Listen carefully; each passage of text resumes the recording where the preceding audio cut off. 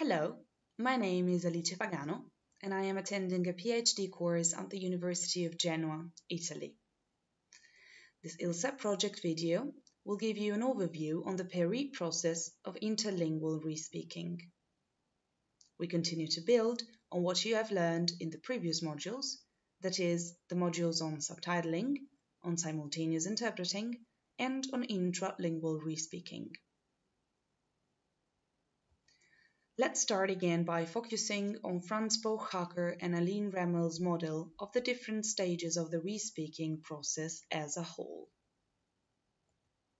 We will now be focusing on the PERI process stage. As said before, also during the PERI process of respeaking, the socio-psychological skills of having interpersonal relationships in professional settings and cooperating are very important. The PERI process of respeaking is indeed developed through different multitasking stages that occur simultaneously and are to be carried out with great cooperation between the respeaker or respeakers and, if any, the editor, editors in teamwork.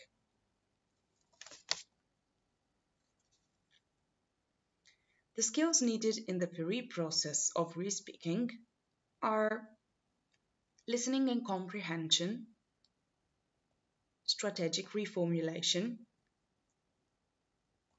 dictation and monitoring,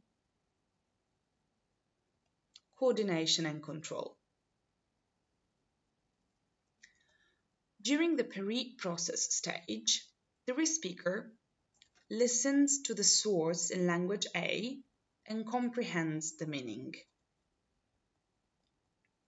Then, the respeaker reformulates the source and translates it in language B. The respeaker respeaks and dictates the translated content, monitoring the output and correcting the written product on the screen. All this, of course, maintaining great coordination and control in order to carry out all the above mentioned tasks.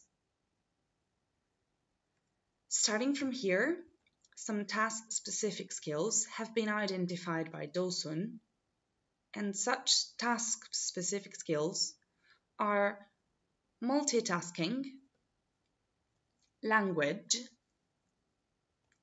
source language comprehension, live translation, target language expression, dictation and punctuation, error correction, addition, and short-term memory. Let's take a closer look. In the first stage, the respeaker receives the audio input of the source text in one language, language A, comprehends it, and reformulates it.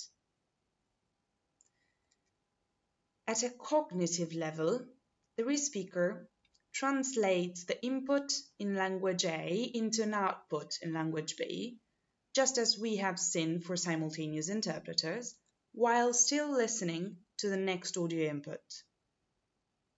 As we have seen in previous modules, split attention is of great importance in the PERI process as respeakers need to be able to keep listening to new information while performing other tasks, such as translating the message into another language and dictating it to the speech recognition software.